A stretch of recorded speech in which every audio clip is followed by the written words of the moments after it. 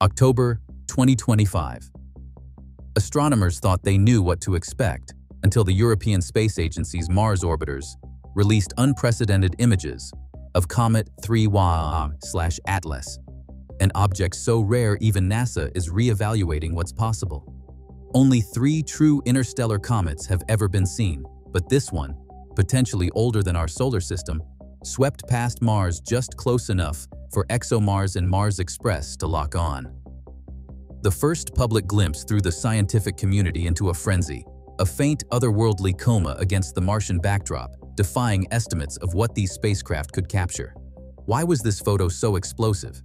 And what secrets are still hidden in the data as experts scramble to decode 3I-Atlas's alien origins?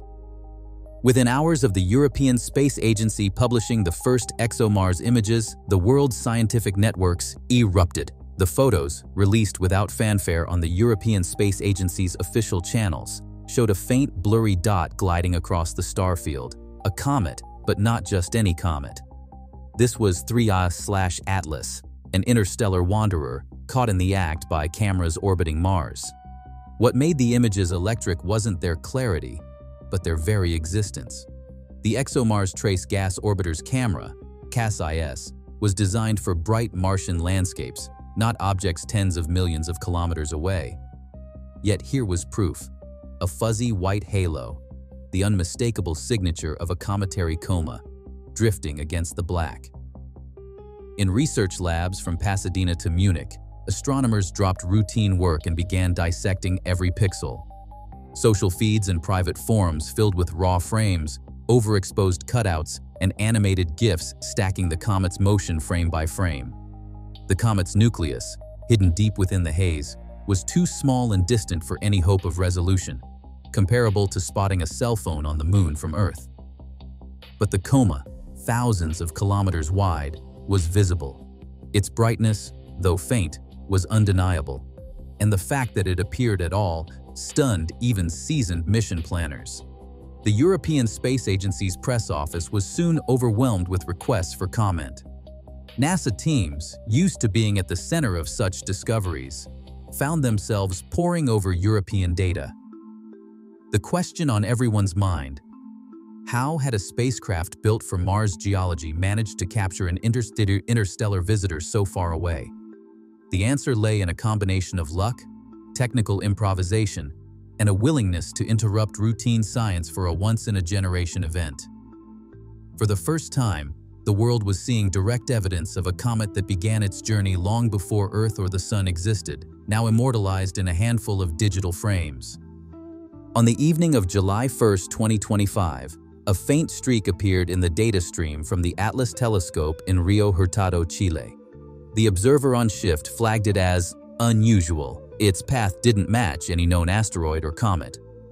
Within minutes, the system calculated a trajectory that was not just steeply inclined, but hyperbolic, indicating the object was moving too fast to be bound by the sun.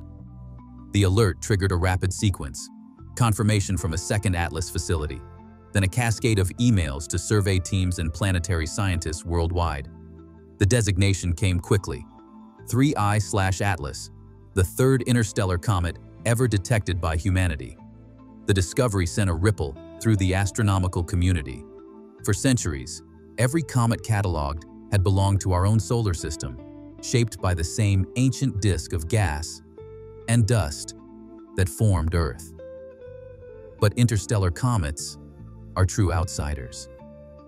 Their origins lie in distant planetary systems, ejected by gravitational encounters and set adrift for billions of years.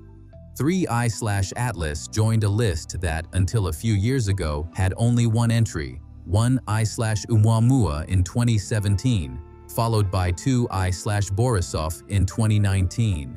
Each was a singular event, a cosmic message in a bottle from another star.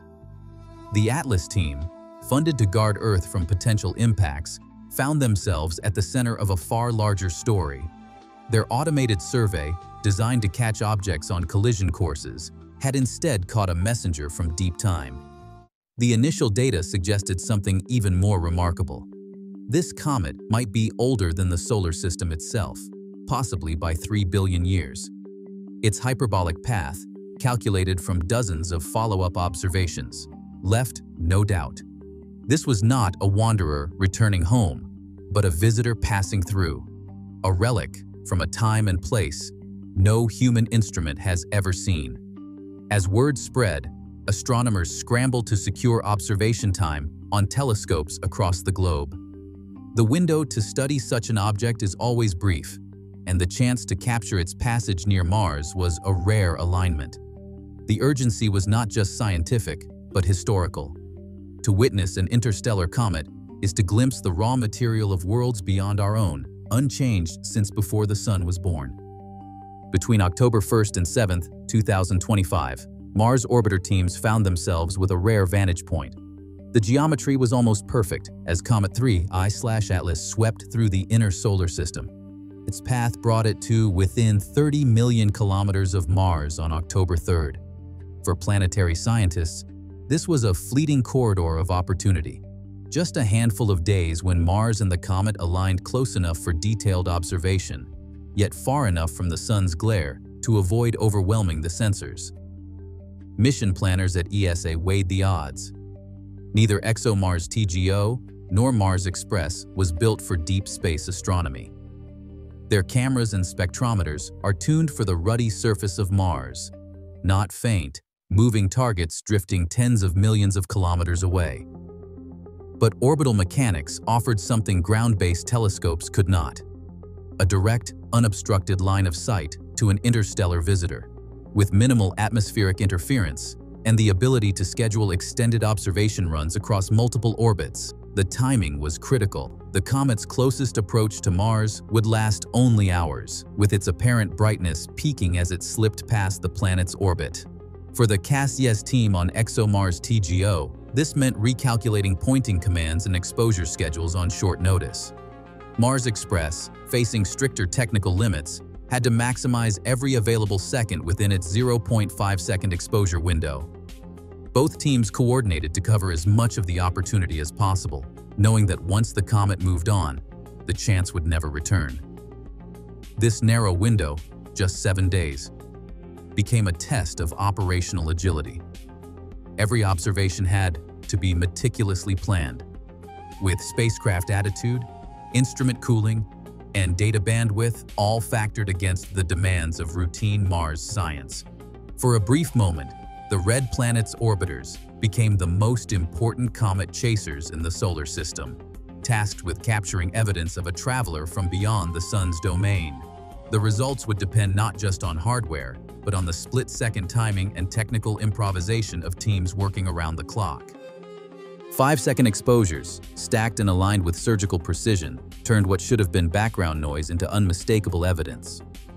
The CaSSIS camera aboard ExoMars Trace Gas Orbiter was not built for this kind of work. Its detectors were calibrated for the sunlit canyons and dust storms of Mars, not for a comet 30 million kilometers away. Yet frame after frame, the team pushed CaSSIS to its limits, capturing a series of images that, when combined, revealed the faint shifting glow of three Atlas's coma, a halo of gas and dust thousands of kilometers wide, drifting across the star field. The process was demanding. Each image was carefully registered on the predicted path of the comet, with cosmic rays and stray pixels filtered out. By stacking dozens of these long exposures, the random noise faded and the persistent features sharpened. What remained was a fuzzy white dot, moving exactly as predicted, proof that the interstellar visitor was real and that the gamble had paid off. Principal investigator Nick Thomas described the challenge in plain terms. This was a very challenging observation for the instrument. The comet is around 10,000 to 100,000 times fainter than our usual target. The technical team adapted both hardware and software on the fly, recalibrating the camera's settings and repurposing mission routines to chase a target never meant for CaSSIS's lens. The nucleus itself, no more than a kilometer wide, remained hidden, lost in the glare of its own coma.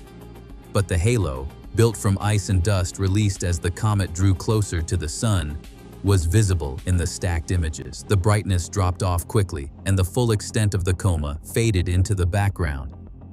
Yet for the first time, a spacecraft orbiting Mars had captured direct evidence of an interstellar comet.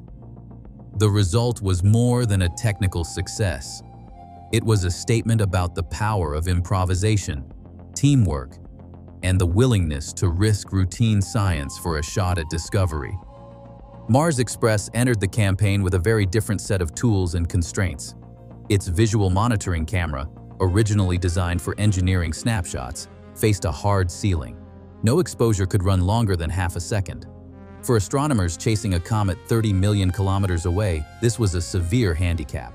Every frame captured was dominated by noise, the faint signal from 3i slash Atlas, nearly drowned out by the background.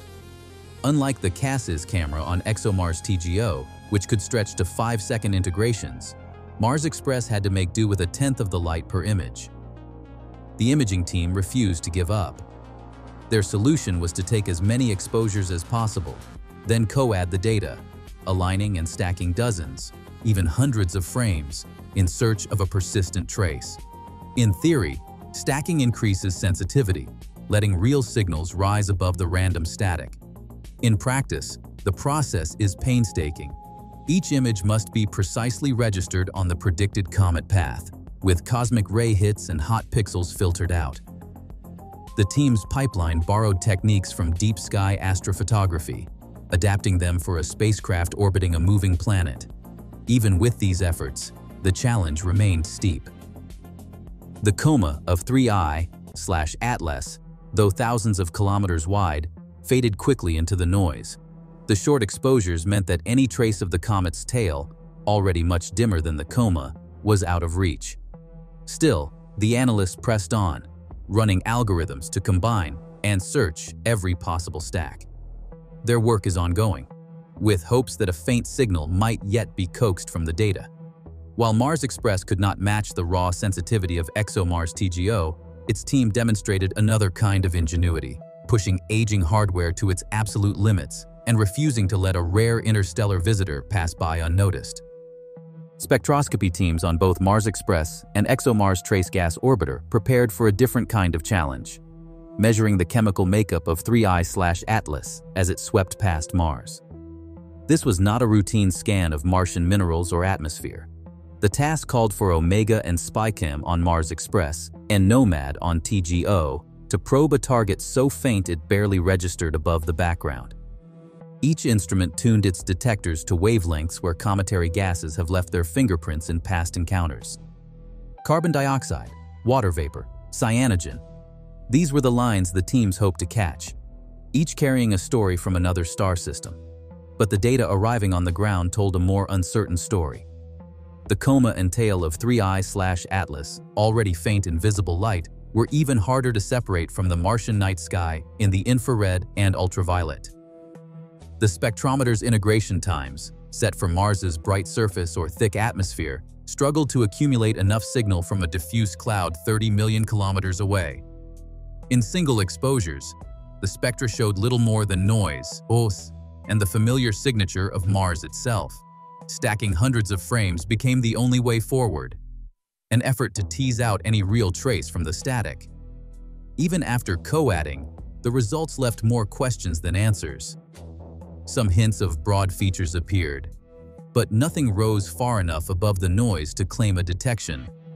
The teams debated whether a faint bump was a real emission from the comet or just a statistical fluctuation. Mars's own atmospheric glow, especially in the infrared, complicated background subtraction.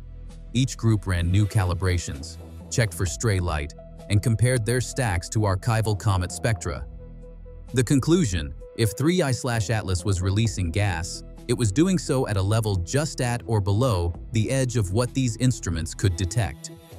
The search continues, with deep stacking and new algorithms, but for now, the composition of this interstellar visitor remains an open question. Its chemistry still hidden, waiting for a clearer signal. Inside ESA Mission Control, the decision to turn Mars orbiters away from their usual routines did not come lightly. Every hour spent tracking 3I-Atlas meant less time devoted to Mars geology, climate, and atmosphere.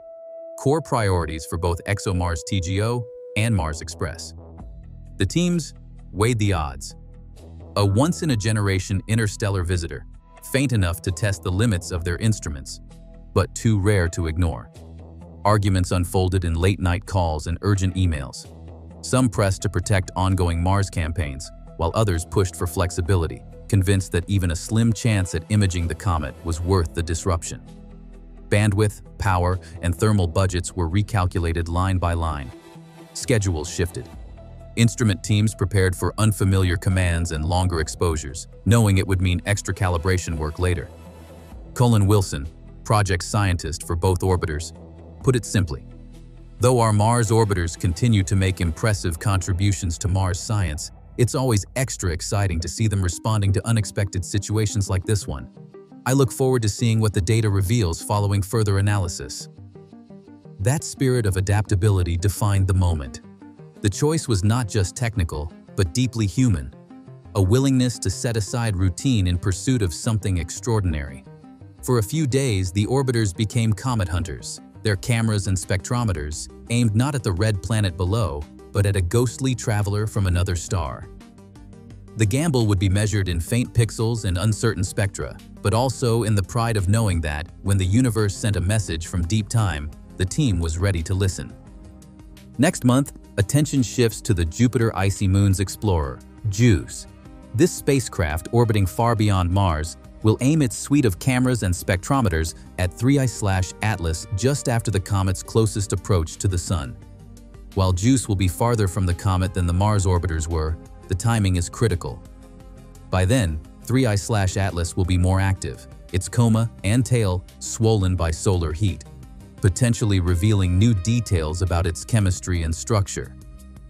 Data from this encounter are expected to arrive in February 2026, delayed by the long transmission times and careful calibration required for such faint moving targets. Plans for the next leap forward are already underway. ESA's Comet Interceptor mission, scheduled for launch in 2029, is designed to wait in space for the perfect opportunity, a pristine comet from the Oort cloud, or, if fortune favors, another interstellar visitor like 3I slash Atlas. Unlike previous missions, Comet Interceptor will not chase a known target from launch. Instead, it will linger in a stable orbit, ready to spring into action when a suitable object is discovered. This rapid response strategy reflects lessons learned from the fleeting windows offered by objects like Oumuamua, Borisov, and now Atlas. For the scientists behind JUICE and Comet Interceptor, the message is clear. The era of passive observation is ending. The pace of discovery is accelerating, and so is the need for missions that can pivot quickly when the universe sends a rare visitor. Each new interstellar object opens a door to the unknown, and the world's space agencies are determined not to miss the next knock. On October 3, 2025, ESA's ExoMars orbiter captured images of Comet 3I-Atlas from 30 million kilometers away, marking humanity's closest look yet at our third known interstellar visitor. The CaSSIS camera revealed a faint kilometer-wide nucleus shrouded by a coma spanning thousands of kilometers, even as the comet appeared 10,000 to 100,000 times dimmer than Mars. Despite these breakthroughs, Mars Express's imaging and spectrometer data remain under analysis, and the exact composition of 3I-Atlas is still unknown. As scientists continue to process images and spectra, the next chapter will be written by ESA's JUICE spacecraft in early 2026 and the launch of Comet Interceptor in 2029. The rapid response to this rare event shows how international teams adapt to fleeting opportunities for discovery. For now, 3i slash Atlas reminds us that our solar system is part of a much larger story, one that is still unfolding one image and one observation at a time.